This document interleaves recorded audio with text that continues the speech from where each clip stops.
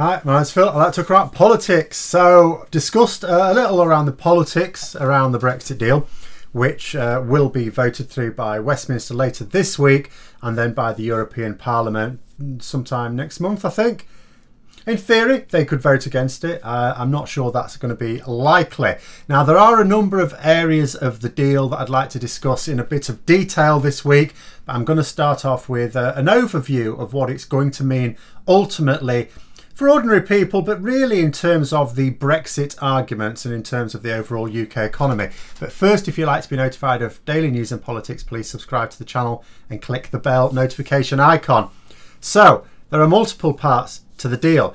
It isn't just about trade, but that is uh, the one that the public will be mostly attuned to.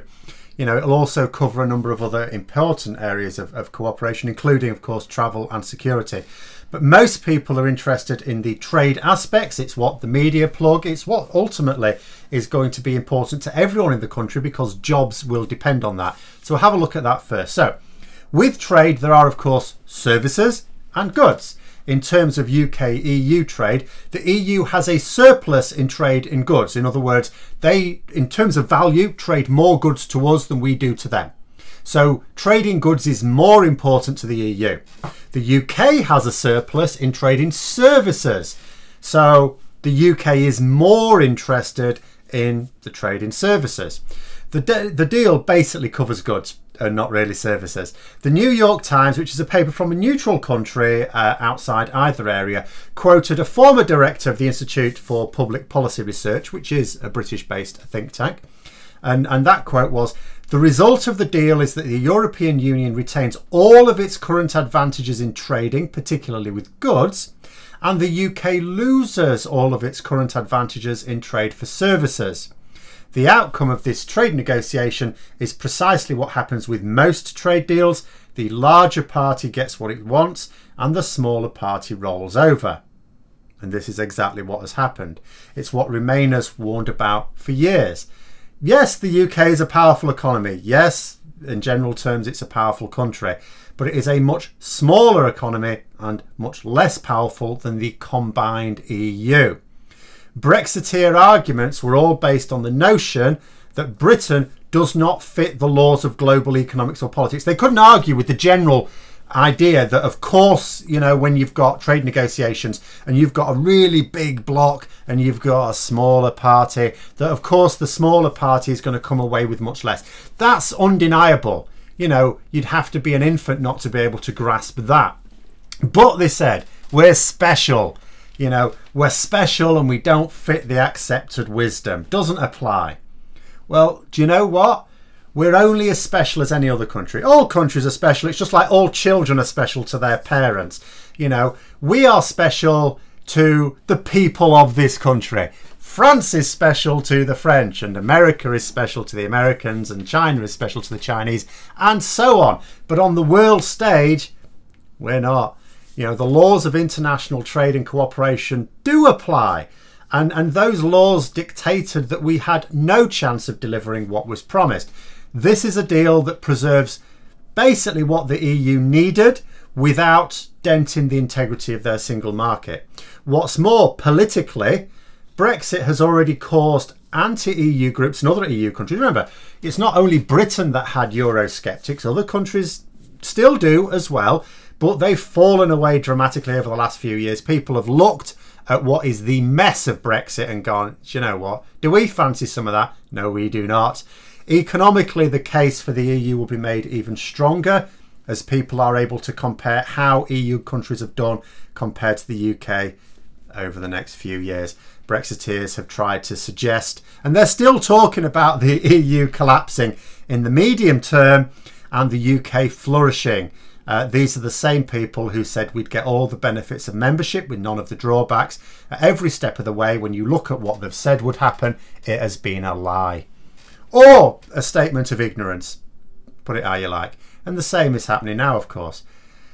And you know when you're looking at you know when you're looking at digital subscriptions to things, and there's different forms of it, and it shows uh, a range. You've got your different subscriptions. It's got tick boxes, ticks and crosses and things, indicating what you get with each option. And obviously, you get more ticks with the more expensive subscription. Well, the EU produced a handy graphic showing this for this deal as well. You know, it shows what we had as members, including freedom of movement, trading goods, trading services, air transport, road transport, energy, and EU programs, including the Erasmus scheme that I talked about yesterday. Now, on that trading front, we can see that when it comes to trading goods, the aspect of trade most important to the EU does actually cover some important areas. You know, there's a big tick on tariff and quota free there, and there's a few, the circles indicate that um, you get something with it. It's not like it was before. There are certain conditions, and uh, but when it comes to trade and services, it's just crosses. That's there's, there's nothing. We don't get anything. Now that being said, I did say before the deal was agreed that the EU would probably do us a few favours if we, you know, if we agreed the deal. Um, it's a bit like when we agreed terms on the Northern Ireland Protocol, which was earlier this month. We finally agreed terms on that, and the EU said, "Right, thank you. You've you've you've now behaved. You've you've done what we wanted. So here's a few sweeteners. Here's a here's a thank you."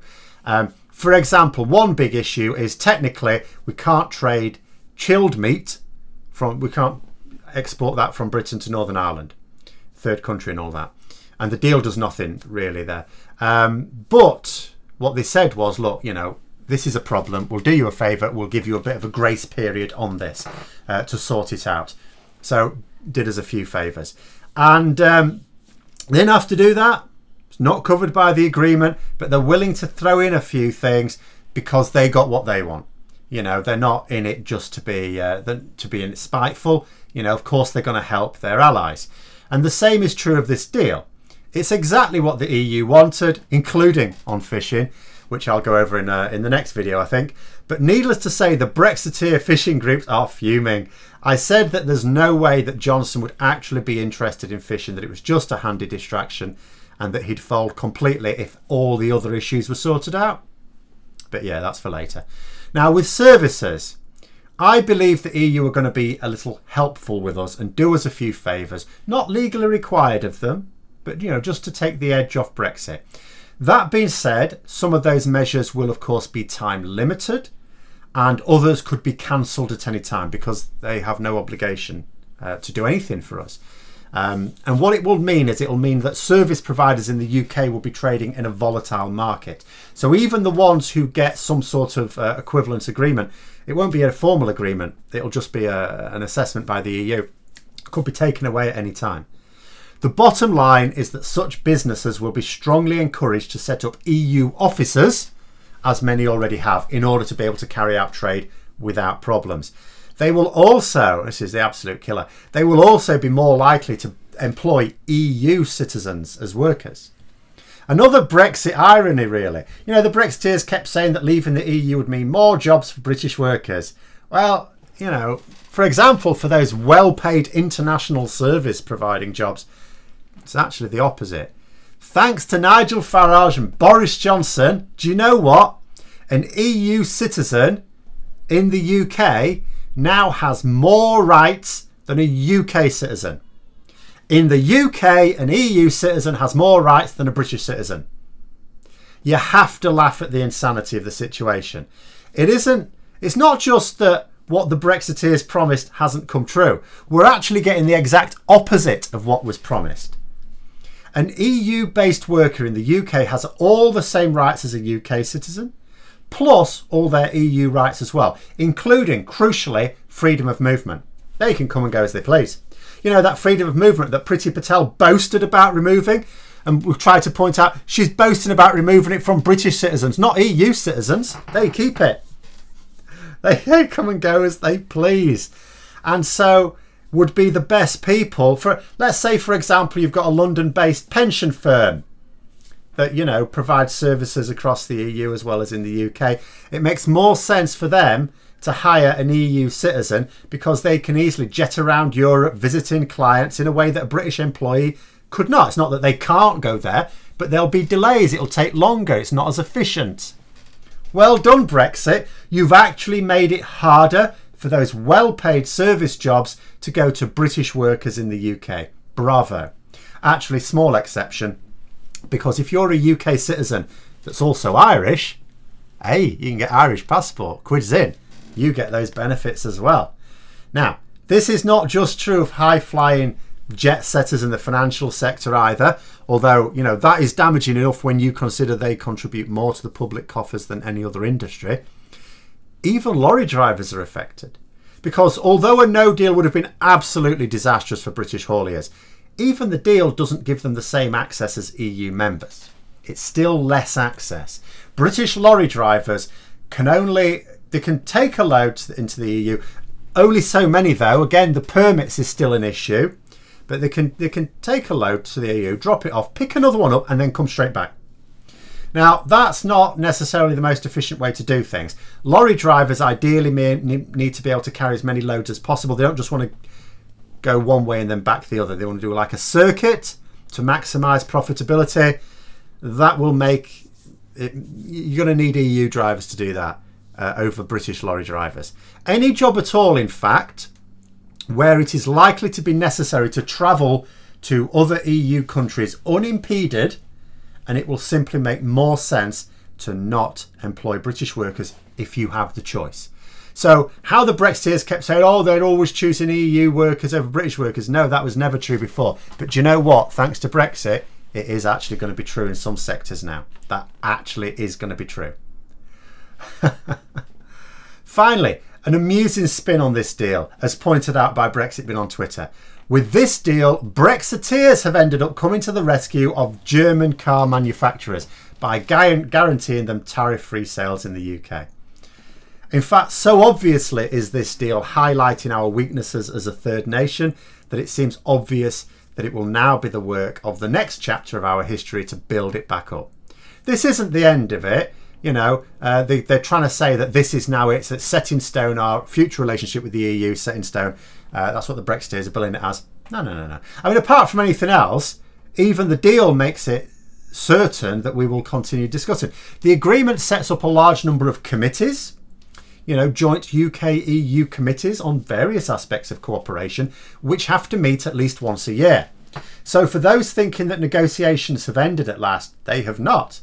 The deal actually stipulates that we keep negotiating measures on all sorts of areas in perpetuity because that's the, reality of international relationships anyway. They're not set in stone. They're never set in stone. They constantly evolve, and we're constantly talking. You know, it's just that they may increasingly feature less in the news, I suppose. But if you needed to explain the deal to someone who didn't really want to spend that much time understanding it, you could say this. It gives the EU a controlling say in Northern Ireland. Uh, their citizens and uh, have more rights in the UK than UK citizens. They get to control the rules for trading in services. And their standards will also hold sway in trading in goods because if we diverge from their standards, they will slap tariffs and quotas on us. It's the deal that the EU wanted and not at all what the Brexiteers promised, even as recently as a week ago. And although this is because the EU are the much larger party, and so would of course get the best deal, we might also look at how this started. This is the first meeting between Michel Barnier and first Brexit Secretary David Davis, several years ago now. See how the EU officials have stacks of documents to refer to during the meeting. See how the three UK negotiators, with David Davis in the middle, have between them one notebook, not a very thick one even, and zero documents at all between them. We took this as a warning sign, those who were paying attention at the start, and it ended up like this. This is what we've had in charge of the process. So even though we were the smaller party, and of course we're going to come away with a less beneficial deal than the EU, it still could have been better for us if we'd have had better people in charge of the process. But those are my thoughts. Let me know yours in the comments below. Hope you found the video interesting. If you did, don't forget to click the like button. And if you'd like to support the channel further, please also click the Patreon link for details. And until next time, I'll see you later.